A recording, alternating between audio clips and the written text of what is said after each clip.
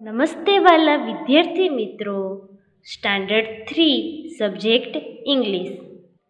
Page number five five fifty five, unit number twelve, one two twelve, parts of the body. P A R T S parts O F, of T H E the. B O D Y body parts એટલે ભાગ અથવા અવયવો. The body એટલે શરીર. Parts of the body એટલે કે શરીરના અવયવો. અવયવો અથવા તો ભાગો. શરીરના ભાગો પણ કહી શકાય અને શરીરના અવયવો પણ કહી શકાય. એટલે પાર્ટ્સ ઓફ ધ બોડી શરીરના અવયવો. એટલે કે શરીરના અવયવો અથવા શરીરના ભાગો, કોને કહેવાય? શરીરના અવયવો એટલે માથું, આંખ, કાન, વાળ, ગરદન, નાક, મોં, હાથ, પગ, અંગૂઠો, ખભો, પગનો પંજો, પગના આંગળા, આંગળીઓ, ઘૂંટણ, અંગૂઠો, ખભો, ગરદન આ બધા શરીરના ભાગો અથવા તો શરીરના અવયવો કહેવાય. હવે આપણને અહીં ચિત્રમાં શરીરના ભાગો અથવા તો શરીરના અવયવો કોને કહેવાય તે આપણને અહીં એરો કરીને દર્શાવ્યા છે તે આપણે સમજીએ. અહીં સૌપ્રથમ છે હેડ. અહીં જે એરો દર્શાવેલ છે એને હેડ કહેવાય. એચ ઈ એ ડી હેડ. હેડ એટલે માથું.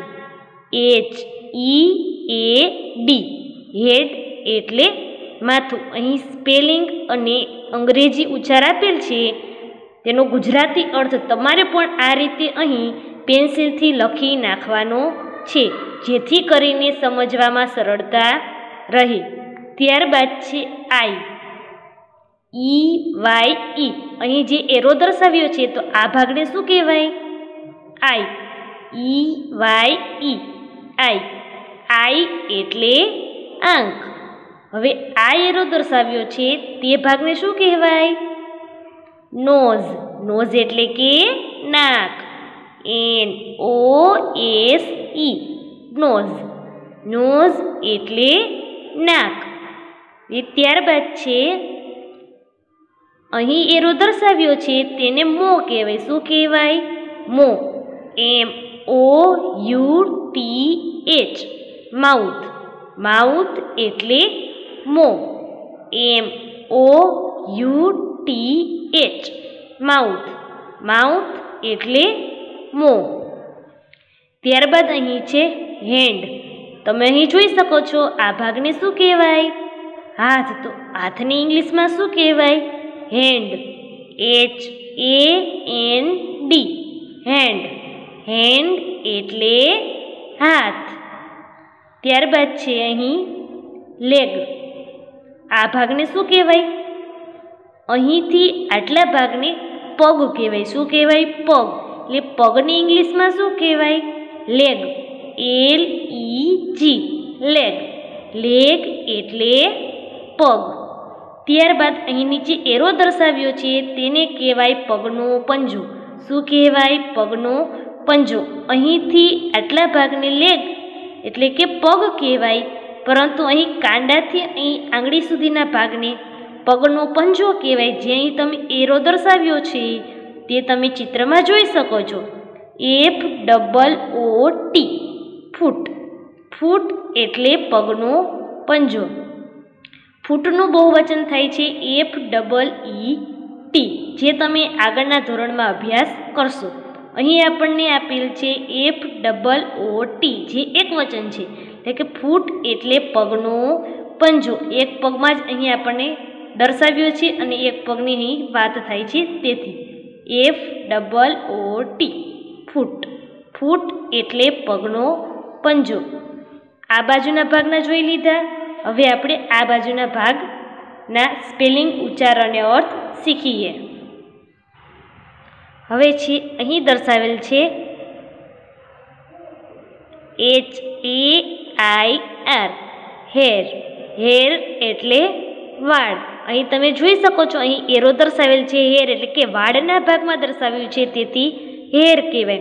પરંતુ જોવો, આ રીતે ઉપર દર્શાવ્યું હોય તો હેડ એટલે માથું કહેવાય, પરંતુ અહીં વાળની અંદર બતાવેલ છે એટલે હેર એટલે વાળ.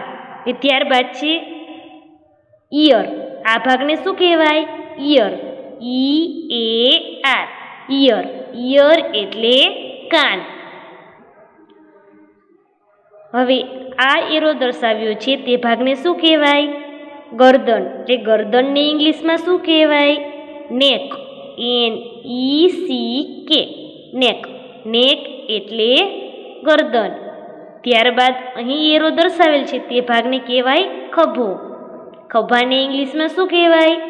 Shoulder S, H, O, U, L, D, E, R.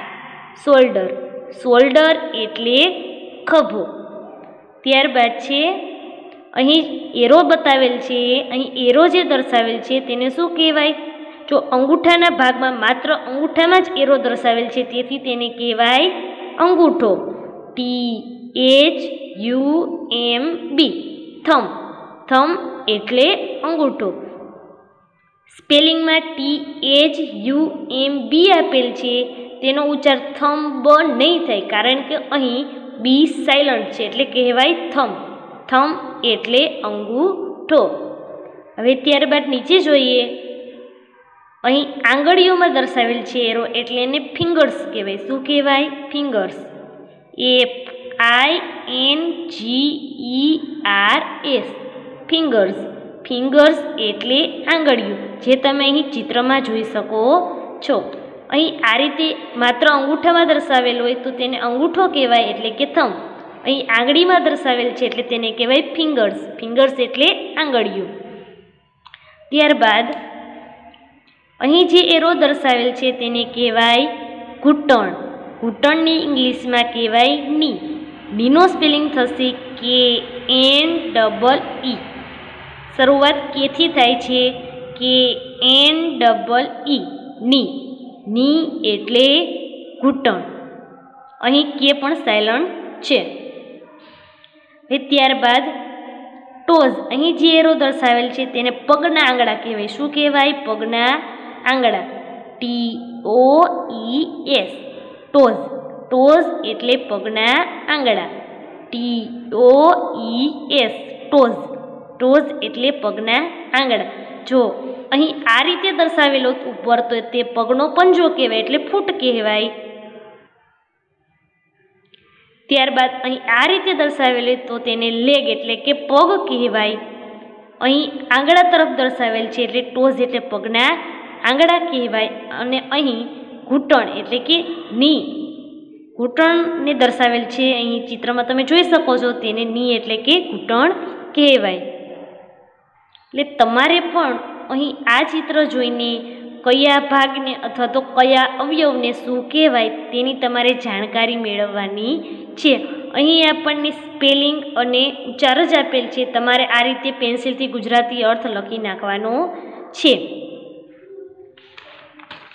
Four line નોટબુકમાં તમારે આ રીતે સ્કેલથી આકા પાડીને આ રીતે ફોર લાઇન નોટબુકમાં એક સ્પેલિંગ ત્રણ વાર લખીને પાકા કરવાના છે. ફરી એકવાર જોઈ લઈએ. H A I R hair hair એટલે વાળ. ત્યારબાદ છે E A R ear ear એટલે કાન. એન ઈ સી કે નેક નેક એટલે ગરદન. એચ ઈ એ ડી હેડ હેડ એટલે માથું. ઈ વાય ઈ આઈ. આઈ એટલે આંખ. N O S E nose nose એટલે નાક. M O U T H mouth mouth એટલે મોં. H A N D hand hand એટલે હાથ. S H O U L D E R shoulder shoulder એટલે ખભો. T H U M B thumb thumb એટલે અંગૂઠો. હવે છે F I N G E R S fingers fingers એટલે આંગળીઓ. છે કે N double E knee. Knee એટલે ઘૂંટણ. T O E S toes toes એટલે પગના આંગળા. L E G leg leg એટલે પગ. F double O T foot foot એટલે પગનો પંજો. એટલે આજના હોમવર્કમાં તમારે ફોર લાઇન નોટબુકમાં આ રીતે તમારે સ્પેલિંગ ઉચ્ચારણ અને અર્થ.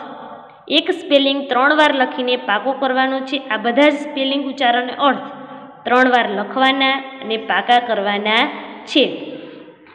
અને પેજ નંબર ફિફ્ટી ફાઇવ આ રીતે તમારે ગુજરાતી અર્થ મેં જેમ લખ્યા છે, તે રીતે લખીને તૈયાર કરવાના છે. હવે પછીનો અભ્યાસ આપણે આવતા વિડીયોમાં કરીશું. Thank you